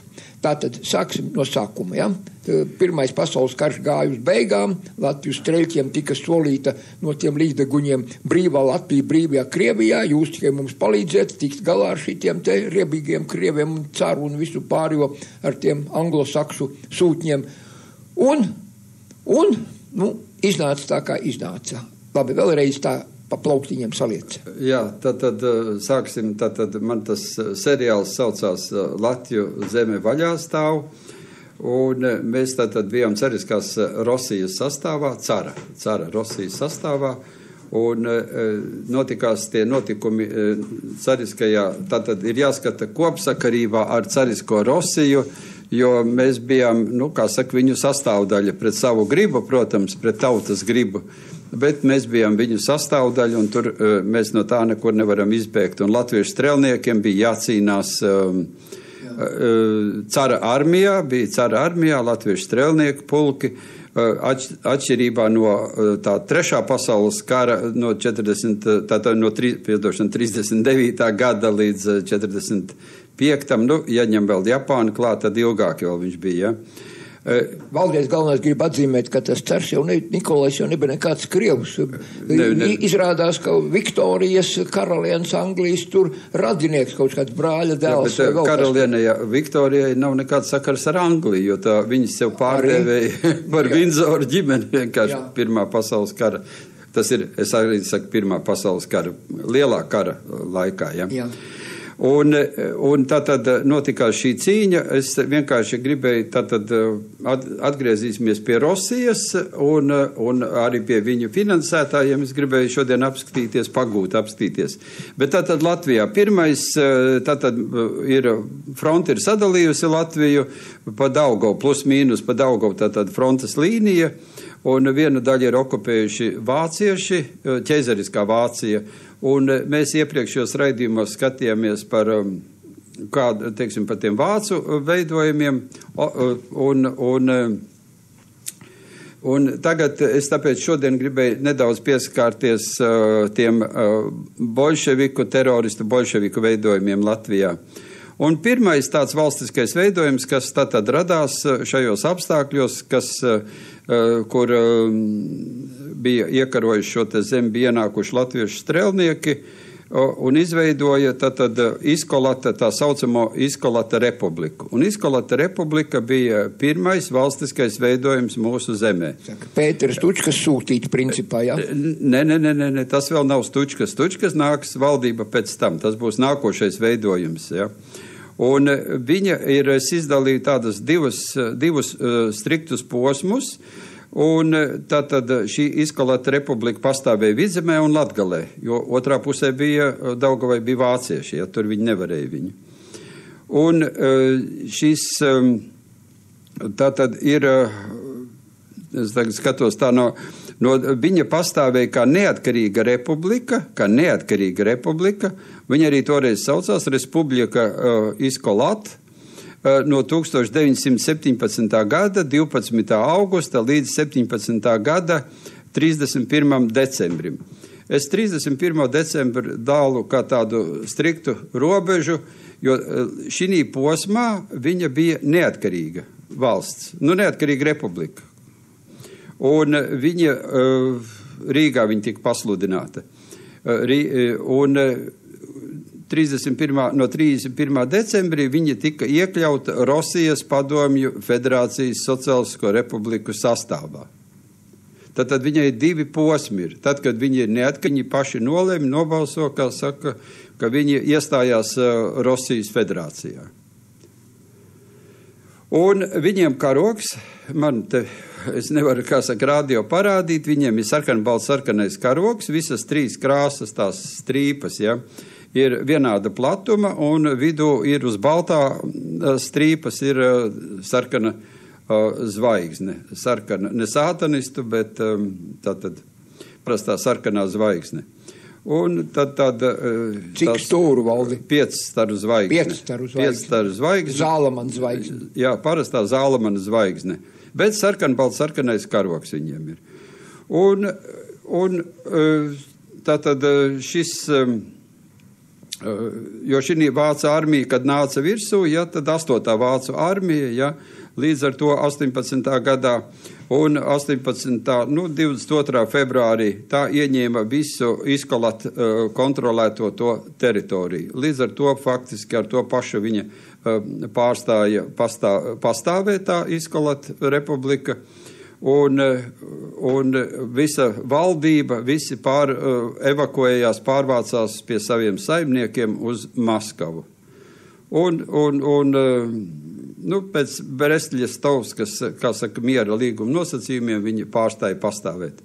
Tā kā šis, šī bija tātad pirmā šāda te mūsu, mūsu, mūsu tāds valstiskais veidojums, kas te Latvijas teritorijā pastāvēja.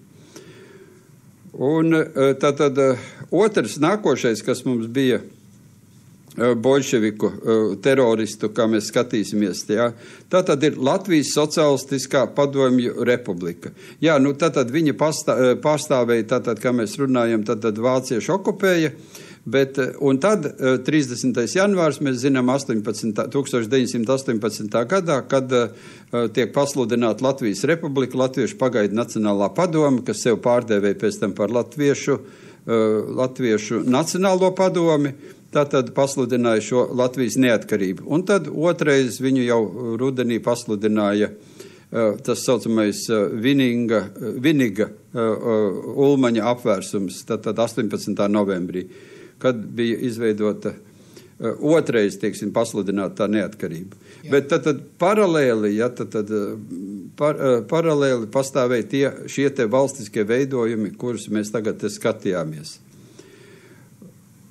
Tad, tad bija tās plutokrātijas, nosauksim tā, baltvāciešu, ja baltvāciešu radītās uh, valstis, kuras, starp citu, jāsaka tā, Līvlandas uh, hercogiste un tā Kurlandes hercogis, tās bija starptautiski atzītas. Tas bija tāpat tās kā Baltijas apvienotā, tā apvienotā Baltijas hercogista arī bija starptautiski atzītas valstis, kā valstis. Tā kā šis ir, un tad pievienojas vēl klāt tāds vēl veidojums kā Latvijas Socialistiskā padomju republika. Nevis Latvijas padomju Socialistiskā republika, ko nodibināja jau daudz vēlāk, ja? bet Latvijas Socialistiskā padomju republika. Tā pastāvēja no 1918. gada līdz 1920. gadam. Tas ir Latvijas brīvības cīņu laikā.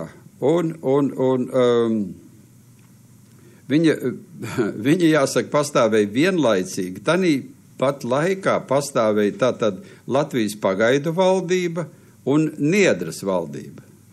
vēl pastāvēja.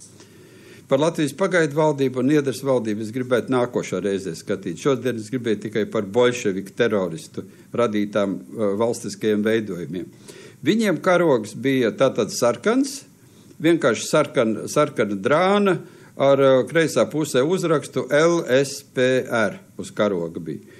Bet, um, bet kas attiecās uz ģērboni, tad uh, ģērbons gan viņiem bija ar uh, āmuru un izskapti centrā, Un tāds tā kā rotarija eh, rats, ja, teiksim, tā kā masons tas rotarija rats apkārt, un tad, tad uzrakst šis Latvijas, Latvijas Sociāliskās padomju republikas eh, republikā.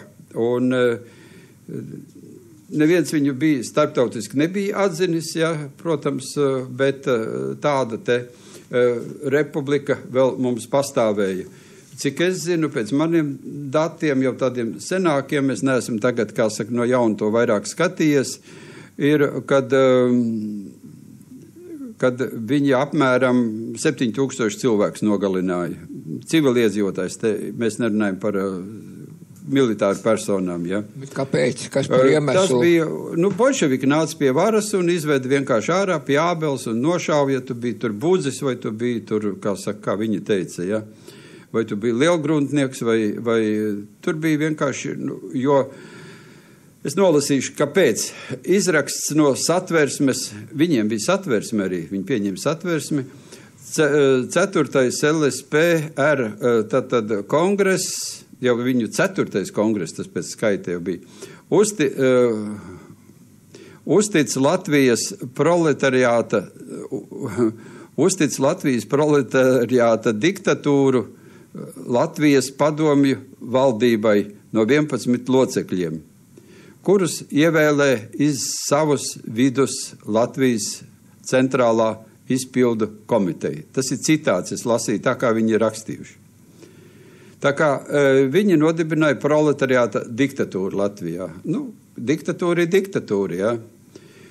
Un, un attie, atbilstoši diktatūrai, tātad proletariāta diktatūrai arī ir šie upuri. Tāds bija tāds uh, par vēl diviem valstiskiem veidojumiem. Es gribēju tāds uh, pieminēt, teiksim, mūsu valsts tapšanā tanī sērijā Latvijas zeme uh, vaļā stāv. Jā, Valdi, tā kuru, kuru uh, Latvijas uh, to republikas, uh, jeb sociālisko, jeb nacionālo, jeb to 30. janvāru, kuru Angļi tie 11. novembrī, tas ir 7 jā, dienas, nedēļa pirms 18. novembra, 18. gadā, Angļi atzina. Atzina jā, jā. Beidzot, jā. Viņi bija ieinteresēti, lai te būtu, tā teikt, Angļu pirksties līherējies. Tāpēc arī tie Angļu karakuģi tur stāvēja e, Daugavas grīvā viss, jā. Jā, tā bija, e, aizmugurē bija Angļi. Es neesmu eh, arhīvā esot tie dokumenti arī par tiem maksājumiem, teiksim, nu, bet kas ir toreiz izdarīti, tas bija Angļas pēcdienesta darbs. Un, un viņi vienkārši sadūrās ar vācu pēcdienestu toreiz un savā ziņā kaut kur viņi bija reizē strādāja, kopā strādāja, kaut kur reizēm viņi konkurēja savā starpā.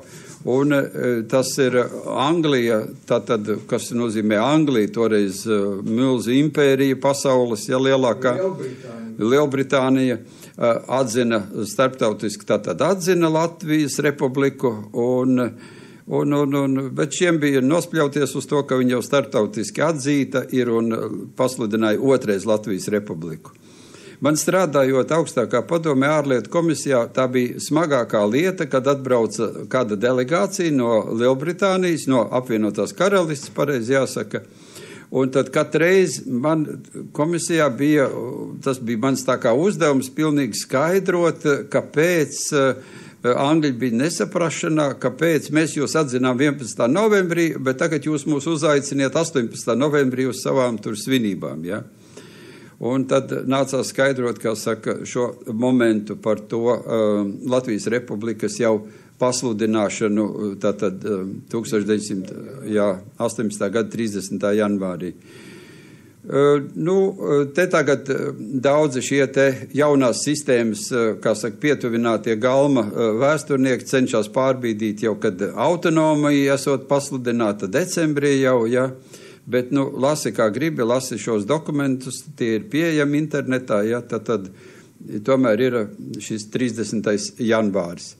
Tā kā ļoti sarežģīta ir šī mūsu uh, valsts radīšanas laiks, un, uh, teiksim, nu tad uh, arī uh, skatīsimies pēc tam tālāk, tātad, kā mums ir gājis uh, šajās, šajā laikā.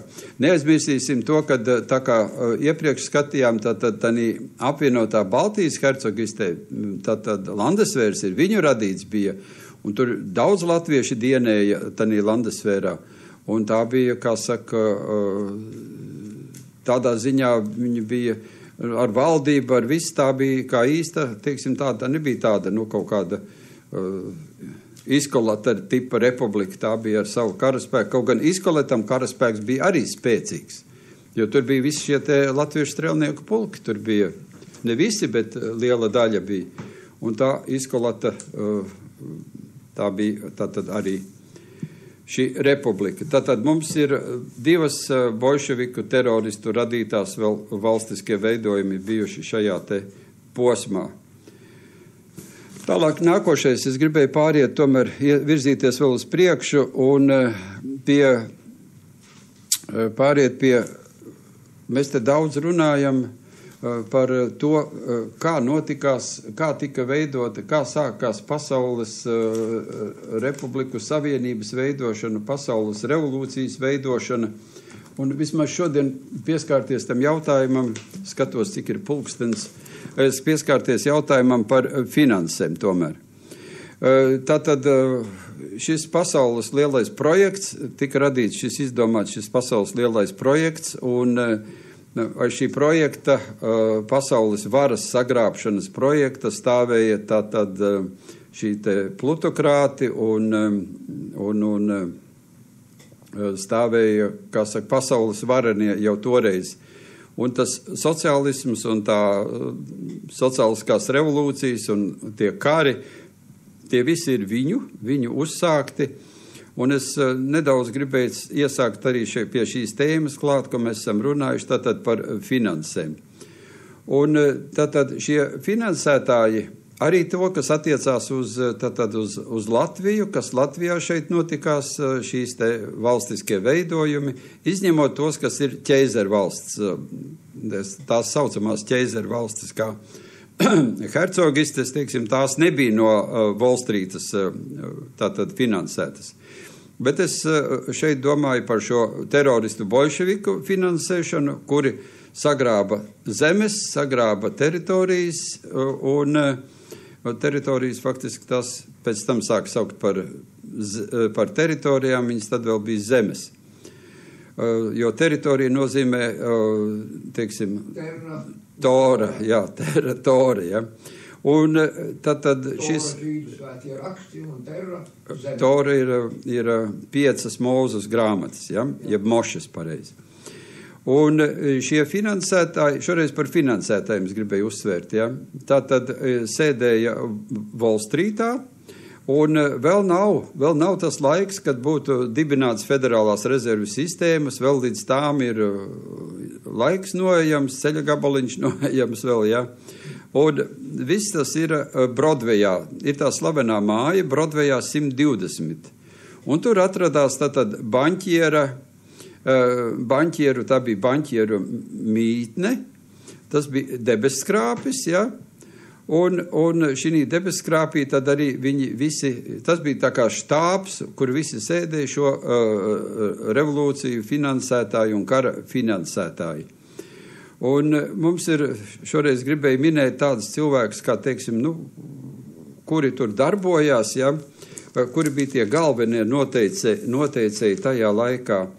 Un eh, viņi arī, uzreiz jāpasaka, viņi finansēja tādu toreiz Peškovu, jeb Maksimu Gorkiju, kurš eh, no turienes devās jau, jau 1907. apmēram gadā, 8. gadā viņš pārbrauca jau uz eh, Neapoli un tad no Neapolis uz Kaprijas salu, kur atvēra komunismu skolu.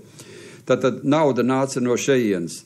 Tātad banķieri tur bija, vienkārši es nosaukšu sekojoši tie galvenie banķieri, kas to nodarbojās, bija Benjamiņš Sverdlovs, Benjāmiņš eh, Sverdlovs, Viņa, uh, viņa kantors arī tātad Brodvejā 120, un viņam bija brālis Jākovs Sverdlovs. Jākovs Sverdlovs tika aizsūtīts no, arī no Ņujorkas, un viņš tika, Manhetenas, viņš tika aizsūtīts uh, Un jau ar nozīmēts, faktiski nozīmējumu Manhetenē, kad viņš jau bija Ņujorkā, par cik tad, tad nu tā kā premjerministrs šodienās, ja.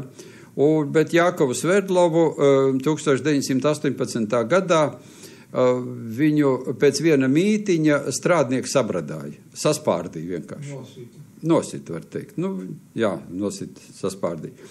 Un, un, un tātad, bet Beņāmiņš Sverdlovs bija arī tas, um, caur kura rokām tieši konkrēti viņš uh, finansēja toreiz uh, to Kaprī skolu uh, un uh, Maksimu Gorkiju. Un tātad uh, Kaprī skolā es atgādināšu, to tiku stāstījis.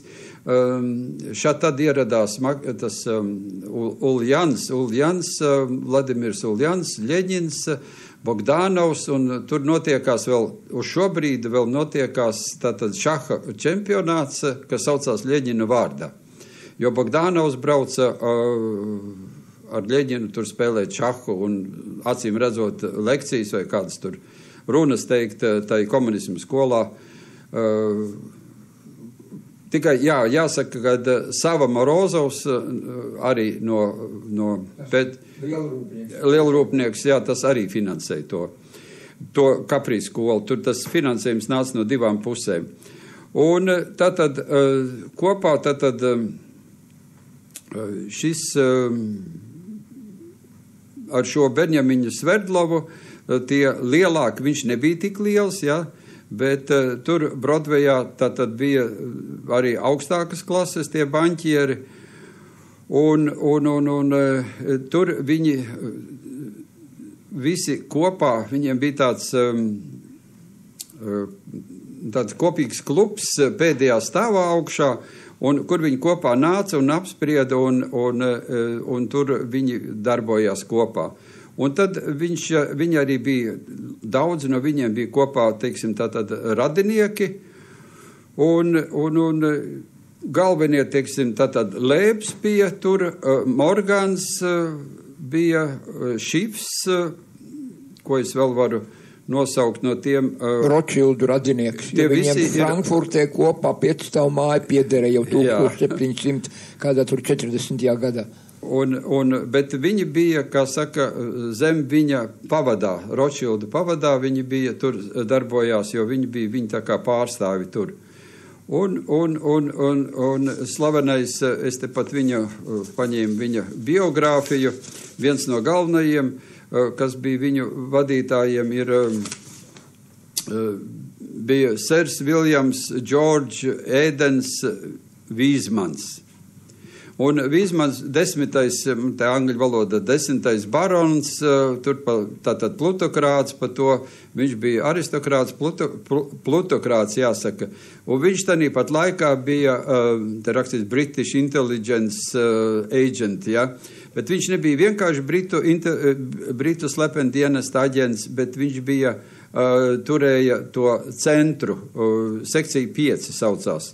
Tātad Britu slepenā dienesta centrs atradās arī turpatās uh, Brodvejā. Un tas, uh, viņš bija tas, kurš organizēja arī tātad uh, Trotska pārbraukšanu un komandas bro, Leiba Bronšteina.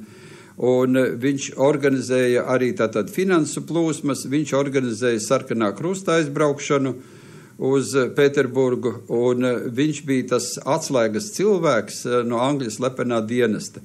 Un šeit ir interesants tas moments, eh, kad eh, Angļu slepenais dienests roku rokā sadarbojās ar, um, eh, ar, um, ar šiem baņķieriem, kurus mēs saucam par banksteriem, jo viņi darbojās kā gangsteri. Un Angļu slepenais dienests, viņš arī, es te skatos materiālus, pētu materiālus, ja īstenībā arī bija privāts. Un aiz viņa arī īstenībā stāv tie paši uh, Citijas, Londonas Citijas uh, banksteri, kuru priekšgalā ir Rothschildi. Tātad, ja, tā kā uh, Natana Rothschilda pēcteči. Jā, Natana Rothschilda pēcteči, tie saucamais Anglijas zars, kā viņi saka. Ja. Jā.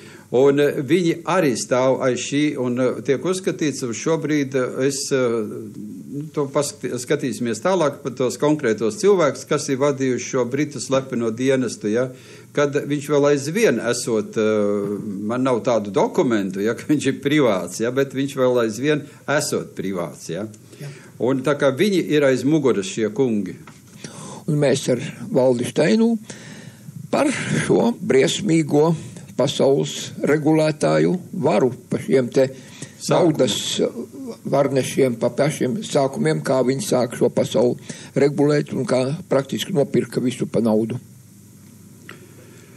Tātad eh, es atkārtošu vēlreiz par eh, Broadwayu 120. Tas bija tātad štābs, viņas dažkārt sauc par klubu. Eh, kur šie banksteri uh, salasījās kopā un kur šie uh, drausmīgie plāni, projekti, programmas tapa, kuri viņi, kurā viņi vienojās. Tātad galvenās tās personas, kuras tur grozījās, ir Morgans un Šifs, Baruhs, Maršals. Maršals ir uzvārds, tas nav dienestu pakāpe, tā nav. Lēbs, Kūns un Lēbi bija tā lielā firma, kurā šis strādāt sāka, ja? Lēbs un Guggenheims. Tie bija tie lielākie, tie lielākie, kas atradās Amerikas Savienotās valstīs. Citi atradās Sitijā, Londonā, tātad šī te baņķieru valstiņā Sitijā. Un viņi, viņi varbūt tās nedaudz bija arī iekšēji specializējušies. Šifs varbūt vairāk strādāja uz, tieši uz Rosiju, kas mums vairāk interesē. Maršals, atcerieties, bija maršala plāns un tāds eh, Vācijā pēc kara vai ne, un tāds Guggenheims ir ļoti daudz dzirdēts par to. Man ir ļoti daudz materiālu savākt par Guggenheimu, to visu dinastiju klanu.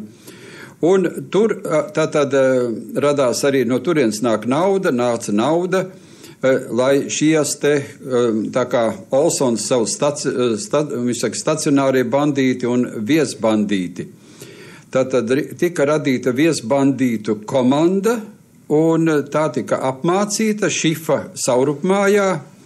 Turpatās pie Ņujorkas viņi tur tika dresēti un tika apmācīti, un viņi radīja, izveidoja Ņujorkā tādu avīzi, laikrakstu Novaja Vrēmja, un tad Novaja Vrēmja jau paspārnē viņi savāca jau šo komandu, tur strādāja Trotskis, kopā ar tādu Čudīnovu, Čudnovu atvainojos, Kolantaju.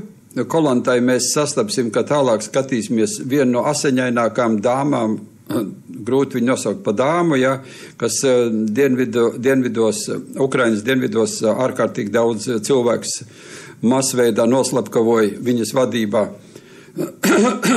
Volodārskis un Buhārins, Urickis Un uh, tur arī Brodvejā, turpatās pie viņiem arī tur strādāja ne Novai Vrēmi, uh, Sidnejs Reilijs. Ar Sidneju Reiliju šo uh, slaveno spiegu mēs vēl sastapsimies tālāk skatoties. Ja? Un tātad Trotska tēvocis bija Ābrams Živatovskis.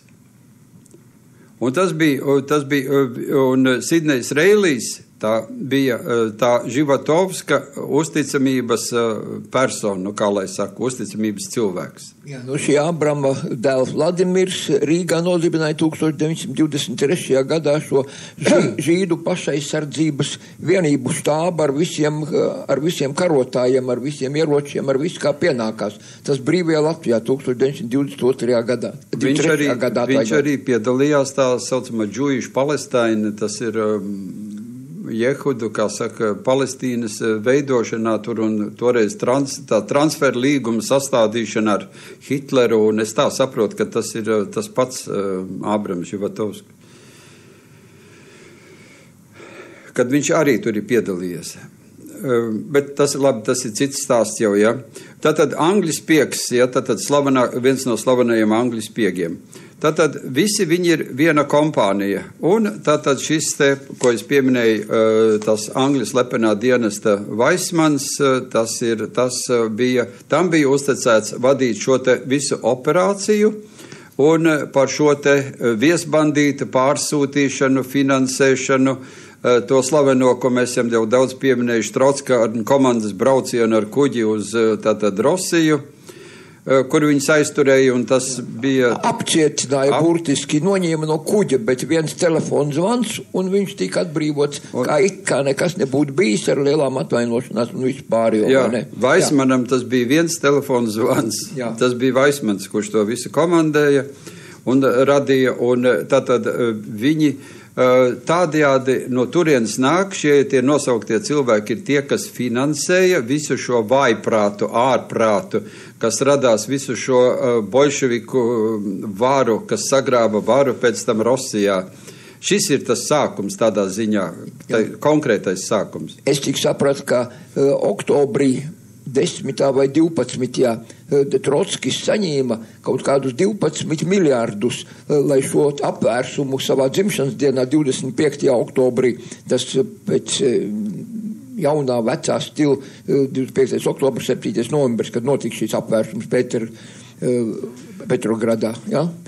Aurora tā izšāva signālu šāvi. Jā, jā, tas ir, jā, tas jau tā, cits stāsts jau nedaudz jau, jo e, tas ir, cik es varu saprast no tā e, Vaicmana, kā saka, no tās komandas, un tad viņi bija sagatavojuši e, tā Kerenska, Aleksandra Kerenska varas nodošanu Trotskim. Kā sauc Aleksandru Kerenski īstā vārdā? Kjurbis. Kjurbis, jā. jā. Kjurbis. Un uh, viņa varas nodošana, tāpēc jau viņi tik, tik mierīgi nodota, nekas jau nenotikās tāds. Un uh, viņi ir, tur ir bijis it kā arī Staļins un tāds Potāpovs, un, un, un kad viņi organizēja šito aplaupīšanu, un bija tā Ziemas pils aplaupīšana. Tā nebija nekāds, un to izgudroja pēc tam, ka bija liela oktobra sociāliskā revolūcija, jo tādas nebija, jo tad bija tās aplaupīšana tikai, bet Eh, sociālisti pārņēma varu. Nevajag aizmirst to, ka septembrī jau eh, pagaidu valdība bija pasludinājusi Rosijas republiku. Bija Rosijas republika. Vairs nebija, kā saka, tur, kā saka, gaisā peldē. Viņi jau paziņoja, ka visa tā milzīgā, eh, kā saka, cara valsts, ja, ir Rosijas republika, jau bija izsludinājuši viņi bija. Un tagad, un nevajag arī aizmirst to, ka um, Kērenskis bija Trudovikas tā partijas piedarība, tā bija darba partija, jeb leiboristi, jeb uh, tā bija viens no, viena no sociālistu partiju atzariem, un līdz ar to Trotskis, būdams vienkārši tikai kreisāks, it kā, nu, revolucionārais sociālists, nu, nomainīja citu sociālistu. Viņi visi jau, viņi jau bija sociālisti pie varas, jau faktiski jau bija. Uh, Vienkārši vieni sociālisti nomainīja otrus sociālistus. Un tad, kad bolševiki, kas arī bija sociālisti, kas bija intersociālisti tikai, ja, vairākumnieki, tie sagrāba varu tiem sociālistiem. Un tad uh, sociālistie revolucionāri vairāk kārt mēģināja atgūt sev to varu. Ja? Eseri. Eseri Slovenijā. Ja? Tad, tad bija eseru dumpis, pēc tam bija vēl eseru sacelšanās. Eseri gribēja, ko mēs stāstījām par to zeltu pārņemt, ja ko viņi zaga ārā. Un tad kaplāni eh, centās, kā saka, intersociālistu Ļeņinu nošaut, eh, viena sociālista, otra sociālista. Tā, tā banda jau cīnījās savā starpā. Un tad pirmais, kad viņi nāca pie varas, kad viņi sagrāba varu, viņi sūtīja tāpēc uz Kazaņu arī latviešu strelniekus, kurus viņi bija noalgojuši. Ja? Un, jo tur bija cara zelts, un, un viņiem vajadzēja uz šo pašu, šiem nosauktajiem cilvēkiem, ko es te saucu, Šīps un Bāruhs un, un, un Guggenheims un, un, un pārējie, ja kas tagad viss saucās uh, filantropi, tagad starp citu literatūrā, viņiem vajadzēja to zelts, jau aizgāja uz viņiem pēc tam. Un tas, tas bag, ne jau tikai zelts, fantastiskākās bagātības aizgāja pēc tam uz eh, šiem pas. Viņi atstrādāja tie aizsūtītie bandīti, tie teroristi, kas pēc tam saucās Bolševiku partija, komunistiskā partija, šie teroristi. Pirmais atmaksāja apakaļ saviem saimniekiem, jo tāpēc viņi bija aizsūtīti. Nu, tas tā kā suns apmācīts kaut ko nozagt, ja viņš aizskrien, nozog un atnes saimniekam. Ja? Saimnieks iedod kaut ko garšīgu par to. Jā, saimnieks, jā. viņš atkal skrien pakaļ. Valdi, tāpēc es nebrīnos, ka Izrēlā jau ir gada laikā četras valdības nomainījušās un paskaties vēlēšanas tagad un nevar vispār saprast, kas notiksies. Visi šie te pekstiņi turpinās, es saprotu. Nu, jā, nu, tas ir cits, ci, cita, cits stāsts jau jā. citā vietā, bet, bet principi šiem te dievu izredzētiem vien un tie paši visur, vai tur un, un tad un tagad. Un, jā, un tas, un šis, tāpēc šis ir tas sākums, kad viņi nozog to valsti, nozog to pārņem varu tanī un izveido to savu uh, valsti un nomaina, kā saka, nu, lozungus, uh, nomaina nosaukumus. Un tagad saucās Padomju Sociāliskā Republika Savienība, un to sauc par valsti vai ne tam līdzīgs. Bet īstenībā šo te teroristu bandītu veidojums, ko viņi sagrābuši un izveidojuši ir. Tā kā e, tās saknes e, skatīsimies arī tālāk un analizēsim tālāk, kā mēs esam nonākuši. Un neaizmirsīsim to, ka tālāk, kas notikās, notikās ar mums tālāk, un e, kā komunisti saglabāja varu Latvijā. Arī pēc 90. gada, kad mums neizdevās, kā saka, izveidot savu to brīvvalsti.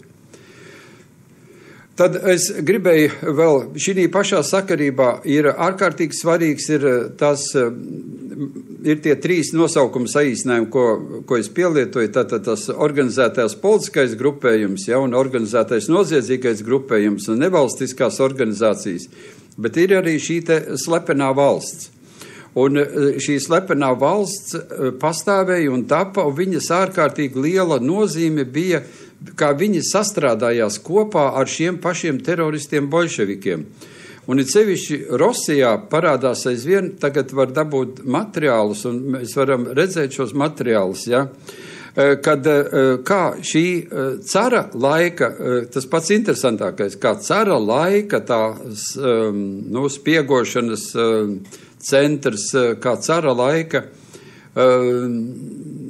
spiegi, tie, eh, kas bija tās, tā, tais laikos, jau Nikolai otrā laikos, jau, teiksim, jau kas strādāja, ja, kad kā viņi pārgāja, tā pēkšņi pārgāja, uh, pad, jā, padomju, bolševiku pusē tā pēkšņi, ja, un uh, ārkārtīgi interesanti ir, es te skatos par to grāfu Ignaķievu, ja, uh, viņš, viņa, uh, tēvocis bija uh, iekšlietu ministrs uh, Stolīpina valdībā. Un, un, un viņa vadībā toreiz eh, tas grāfs Ignāķevs jau izveidoja eh, tā saucamā um, svētā, svētāja družina, uh, svētā vienība. Un tā svētā vienība nebija nekas cits kā spiegu centrs. Viņš to spiegu centru cara laikā izmantoja, Parīzē izveidoja. Viņiem bija Šveicē, Beļģijā, Itālijā, Dānijā, visur bija spiegošanas apakšcentri izveidojuši. Cāra laikā jau bija fantastiski tīkli.